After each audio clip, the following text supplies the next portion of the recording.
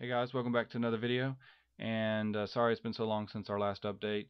Uh, the holidays and weather have kind of uh, thrown us off a little bit, and mainly the weather right now because it's so cold and humid out that it makes it difficult for us to work with our materials, uh, and because they're kind of sensitive to that. So uh, I figured in the meantime I'll do a quick video on uh, what I get a lot of emails on, which is how did we get our 3D model into a full-scale model and what was the process. And so I kind of wanted to show some of that. And so that's what I'm going to do now. I have our uh, 3D model of our car um, which is pretty much has everything in it. It's kind of uh, all in one uh, rendering of the car. And this shows us you know everything's pretty much animated in here. And what I'm going to do is uh, I'm going to take a, a, portion of the car. Let's see which sections I take.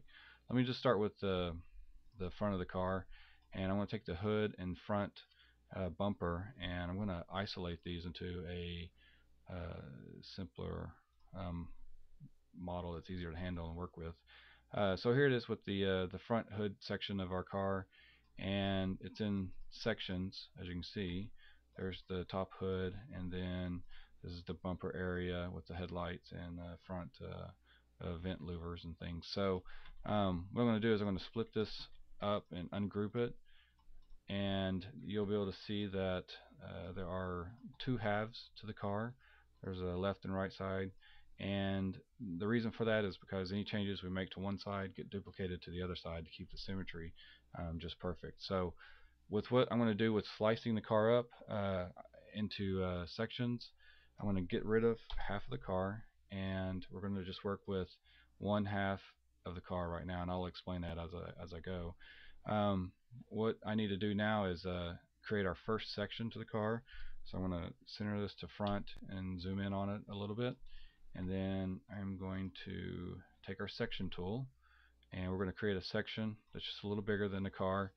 And uh, then we're going to align this section up because it doesn't start off uh, aligned. And then we're going to move it over the car zoom in on it and as you can see uh, if I take this uh, section and I'm oops wrong. Um, if I I did it again. Where's the section at? okay. If I take the section ah okay. I can select it geez. So as I move this section down down the car you can see that it it it kind of takes a, a slice or, or it's highlighting a, a, a, slice of the car that it will take so as I move this up I'll show you. Um, that's going to be its first slice. What I'll end up doing is placing a, uh, a slice every 4.25 inches down the length of the hood or the length of the car. Uh, and the reason why the reason why it's 4.25 is because we're going to use 4 inches of foam in between each section of wood but then also we have to compensate for the thickness of the wood which is uh, 0.25 or a quarter inch uh, in our case and so what I'll end up doing is making a, an array and the, I'll set the array at 4.25 and I'll, I'll do 14 sections and do a little preview and you can see it pops up with uh, 14 sections on the car. And so these are all sections and you can kind of see I don't know with the video if you're going to be able to see a lot of this in detail or not but uh, each little yellow line will be a sliver uh, taken from the car. What we need to do is we need to process one of these and we'll go over here and we'll create a shape from it and we can do that with another one. And you'll want to do these for all of them one at a time basically. And then what you're left with is a uh, little sliver of the car. So I'm going to delete that and then we're going to take the sliver that I just created and I'm going to move it out to the side. Alright so now you can see that that's the that's the contour and the shape of that section of the car. And this is what will end up being the cut line to the car. And we'll, like on our car I think there was probably 30 or so uh, sections down the whole length of the car and then another 30 sections across the front and across the back that were all one to two inches apart uh, for a lot higher detail in some of those more uh, contoured and, and, curvy sections of the car. Okay, so just kind of give you an idea, that's a simple um, section removed from the car. Okay, so here's our uh, uh, other model with all of the various sections in the car that are taking that, that are going to be taken from uh, the main 3D model. And uh, also what we did is we added some measurement um, models. and so the measurement models that are highlighted now, uh, these go through the whole car and they also go through each section uh, that you see at the top here. And so when I process the sections and create the final shape, it also creates a shape of these measurement marks. And what that's good for is for helping us to align each panel uh, exactly where it needs to be. It also gives us uh, measurement marks um, as we're working on the car and stuff that we can use so that we know how far something is from the center of the car. Just give you an idea, if I take one of these panels and let's, let's select the front one. And I move it out from the car and let's uh, let's center it. Okay so this would be our basically our 4x4 uh, sheet of wood that's a quarter inch thick. And this all the little tiny yellow lines are one inch uh, measurement points and then uh, the the outline of the car as you can see here is where we will use for a cut line.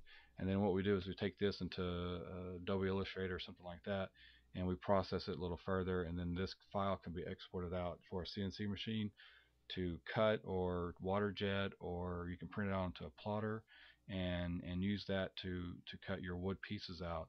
And then you, you put your two pieces of, of uh, 4 by 4 like 4 foot by 4 foot pieces of uh, MDF wood uh, together. And then you print only on one side uh, or you or you CNC only on one side.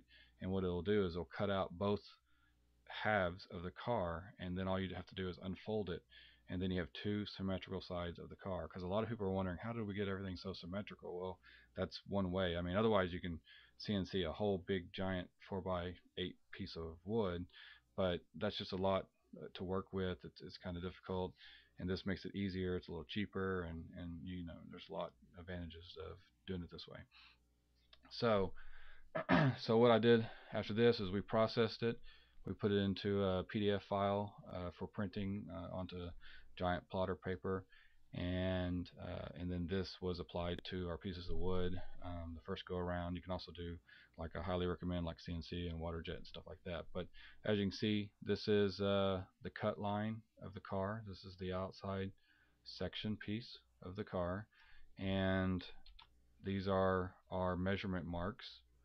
And you know I've placed them everywhere. You can do as many as you want but I, I just wanted to have some in kind of in the, the the bottom and the top and the middle um, so that we always had a mark to measure from somewhere. And these are some vertical marks. And then this is the the very center vertical line of the uh, uh, section. And then this would be the baseline um, of the section also. And and then here there's even a little piece of our frame so that we know that we can cut around that and allow room so that we can actually put the frame into uh, the wood form as we begin to, to build it. Um, so uh, that's basically it. Uh, I'll try to put some pictures on this or whatever to show you some of the uh, uh, work that we did in the beginning.